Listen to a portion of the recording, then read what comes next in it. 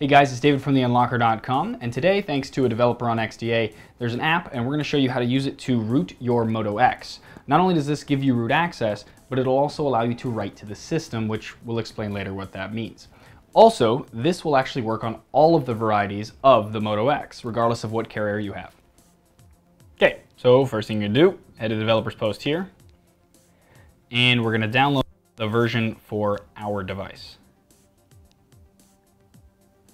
So pick the carrier that you have. I happen to have AT&T, so we're gonna click on that and download that to your desktop.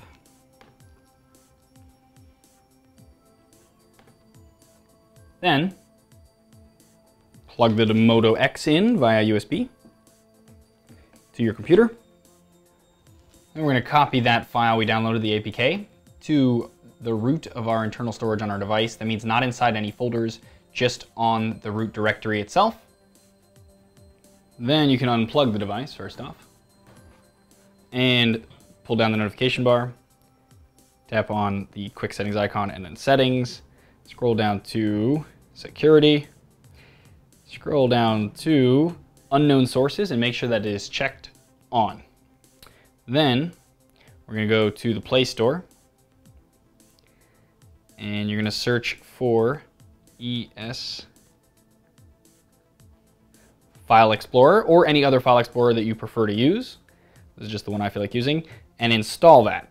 Once it's installed, we're gonna open it and then scroll down and find the APK, Pwn My Moto. Tap that, hit install. I understand install. And then once it's installed, hit open. It'll explain kind of what it does. Um, again, please donate to the developer of this app as they work really hard to make these. Um, so if this does help you at the end of this, please think of doing that uh, and at least thanking them if not donating. Then we're gonna tap setup. Now the device will reboot a few times, so wait for it to do that. Eventually it will stop rebooting. Mine did it about three times. Um, and it does take a second to reboot, so even though you see the pin screen, don't type anything, just wait. Um, eventually though, it will just sit on the pin screen and won't do anything until you put your pin in. So now that we're on the home screen, we're going to go back to the Play Store and search for Super SU. And install that.